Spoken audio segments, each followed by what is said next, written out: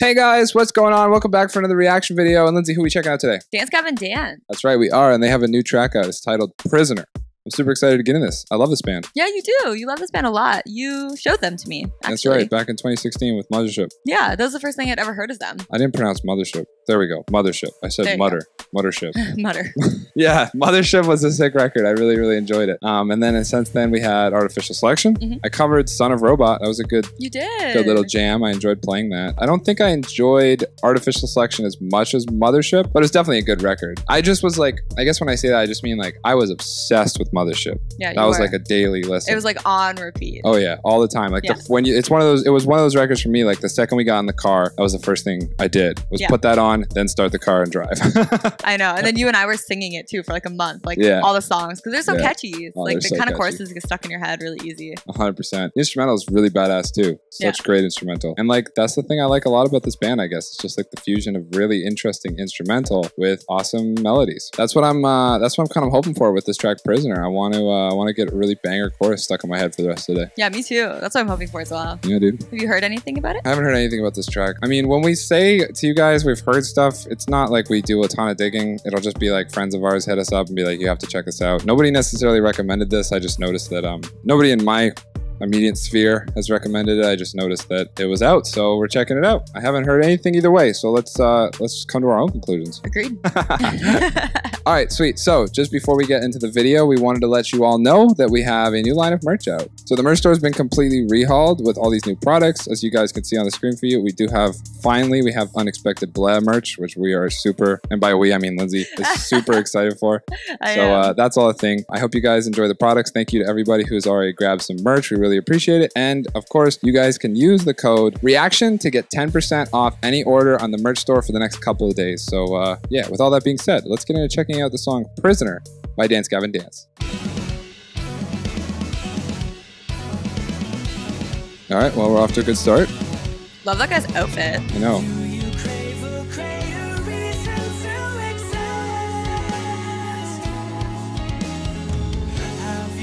Dude, the DW kit.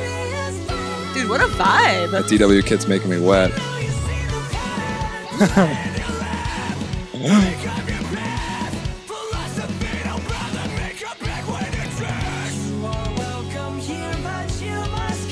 Screamer's just chilling on the couch, bro. I feel like they're in like a greenhouse. Everything's so warm. Oh shit. Damn, bro. There's that chorus I was looking for. What a voice. I know, right? Oh my god.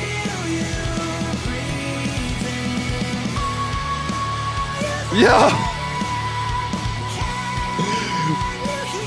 Dude, they delivered. Yeah, they. Shit.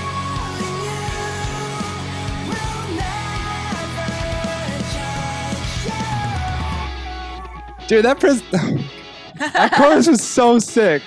it was really sick. This is groovy as hell. So groovy. Yeah, what? dude, I'm so here up. for this. And their outfits and everything. This whole vibe. I love it. What the hell?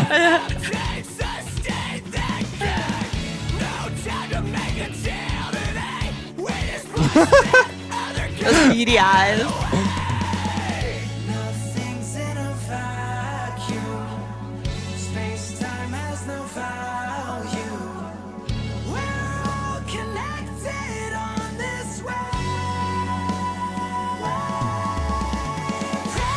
Hell yeah. The verses oh, are cool, but this chorus, man. Yeah. Chorus is always the star of this band, I feel like. Yeah. Well, yeah.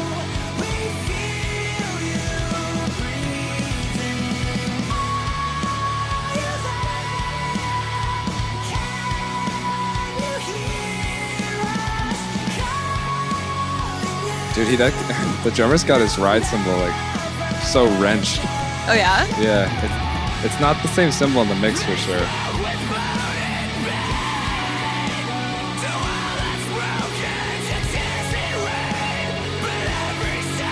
Why isn't he? I don't know. I'm so distracted by it. It's like the it's like they were like, let's film a music video and they couldn't get the screamer off the couch and they're like, all right, set up around him. yeah. Why is he the only one? I, thought don't he was know. gonna like get up for his parts or something. Yeah, dude. Yeah. He's over there tripping on psychedelics or something. Yeah. Have you ever tried DMT, bro? Whoa.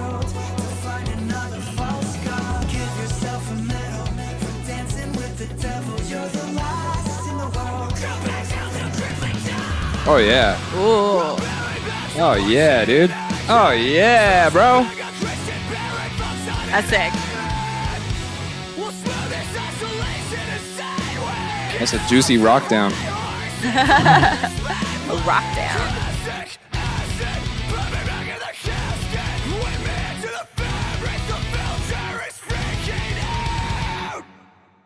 Oh. What? Sudden ending. Sudden ending. Unexpected ending. Unexpected ending. Okay, wait. So, what'd you think? Hang on. What's up? You gotta sneeze? Keep all this in.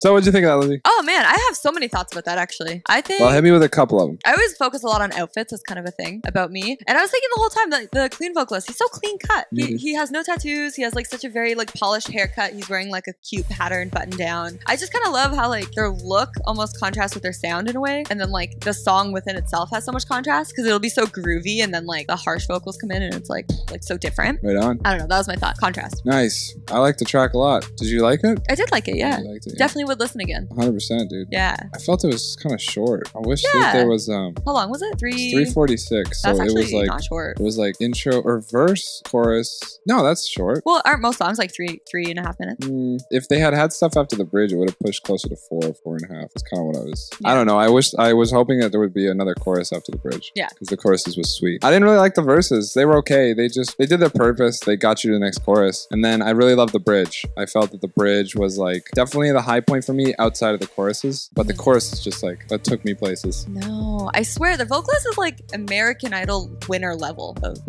vocalist, like Kelly Clarkson level. Okay, So good. right on. So good. It never Right on. ceases to amaze me. I feel like that's almost like a special thing to have in like hardcore or like metalcore or something almost. Like most of the vocals are rough, which is what I like, but his Yeah. voice, man, just takes you places. It's so special. It's so unique. Yeah, yeah, Tilian's so crazy, dude. So one, just one. I was talking a bunch about being distracted in the track Mm-hmm. because, like, this is just drummer stuff, but I'll say it for the sake of saying it. Like, he was playing the ride cymbal, but it was like, it looked like a big ride cymbal, like a 20 inch something. Got this big chunky bell, and he has it cranked. And when he was playing the ride cymbal in the verses, there Yeah. was ride cymbal in the track, and it made sense. Yeah. But then we get to these choruses where it's clearly digging into some kind of bigger crash cymbal, Yeah. and he was still playing the ride cymbal. I don't know what it, what's Ah. going on there. Was, That's weird. Maybe he was like improvising for the video. Maybe it was some kind of like crash ride thingamajig, but it sounded very much like a ride cymbal when it was a ride cymbal, and it sounded very much like a crash cymbal when it was a crash cymbal. Like usually when you're playing like a crash ride Yeah. or like my polyphonic, you get like the ping from the ride cymbal is very washy, and then the crashing is kind of dark and lower and has a lot of sustain for those like bigger crash ride cymbals. So like there was definitely two different cymbals that I don't know why he chose to do that. He had a right, he had a crash cymbal on his right hand, but uh, that was the Um, one thing that I kept noticing throughout the track. When you said that, it actually brought up a question for me What's up? that What's I had question? never thought to ask before. Sure, So like in this video, it looked as though they were all in the same room at the same time, right? Yeah. But he was actually playing that drum set. Yeah. And they had nothing in their ears. Or were they all just in that room going deaf while they were filming this video? Well, you don't know. They could have. They could have had earplugs. Well, I was looking at their ears because when I had this thought, I was looking at their ears, but maybe they could be like really like invisible small ones or something. Yeah, like you, like you can put in earplugs that are skin colored that like you Yeah. squeeze and put inside. Right. You know, like it's like those. Have you seen the orange little um Yes. cone shaped Yes. things you put in for like Everybody on a has. construction site or something? Uh, it's kind of like that idea. I don't know. Like the other thing too is like I've been to a lot of rehearsals where dudes just don't wear anything. They just deal with it. They're just cool with it. Yeah, maybe that's why. Uh, maybe that's why he was di- like playing the ride cymbal the way he was. Maybe it was the one cymbal he could play because there was a ton of tape underneath it, so it was just sounding like tink, tink, Oh, so it Like, wasn't like destroying everyone's eardrums. Yeah, that could be what it is, right? Like every shoot that I've done, usually, like if there's extras, especially, or Yeah. if you're in a place where you don't want to be too loud, you tape the bottom of the cymbals so the cymbals, or you double stack them. Sometimes bands do Ah, that. That's, that's not as common though, because it doesn't look as real. Yeah. But a lot of time, yeah, you see drummers with like playing on cymbals, but then when the cymbal bounce back, there's like a layer of tape underneath it and like a square pattern that's just deadening the cymbal to nothing Ah. so that it's not too loud for everybody else. And then another thing you'll see a lot, like from a drummer perspective, is like he probably didn't have a kick drum, or sorry, a kick pedal. Like he was just hitting the floor. Oh, like just Kind of like moving his legs. Yeah, like Uh, you know, if there's no angles of it, you don't really need to include it because then it's just another thing you don't have to worry about. right. Like trying to trying to be louder or not be loud, but trying to like reduce down so that you're not destroying everybody's ears on set or making it difficult to work on the set because you have to do so many takes, right? yeah, you have to play over and over and over, right? Yeah, and then other things that you'll see is just like uh, with the snare drum, you just like loosen out the shells. So like you can loosen out those heads and then like put tape on them and then they become very quiet. Oh. So yeah, there's lots of little tricks that bands do when they're on set with a drum set um, if they're trying to reduce it. Now there's Yeah. like lots of examples where none of that happens. You know, if you're in a venue, like you're shooting in a venue and it's supposed to be like a live, like a live video. I mean, sometimes it is literally live because you'll just bring a videographer with you on the road and take video of a bunch of shows and compile it together. Right. But other times bands will do like a live shoot where they'll bring in a bunch of extras to stand in front of them in a venue and they'll do takes from all these different angles over and over and over to create the live feel. Uh, when you see that, usually like they won't really care as much about volume and things like that because it's a venue anyways. You just Yeah. play. It's got to look real because you're supposed to be in front of people anyway. So you want to make it as real as possible in those situations. that makes sense. Yeah, dude. Drummer stuff, bro. Drummer stuff. feel like I always get on rants about some kind of drum stuff when we do these reactions. I think that could be why a lot of people are here, though. So that could be fine. I don't know about that. Maybe. Yeah, with my channel. That would With a drum sense. channel.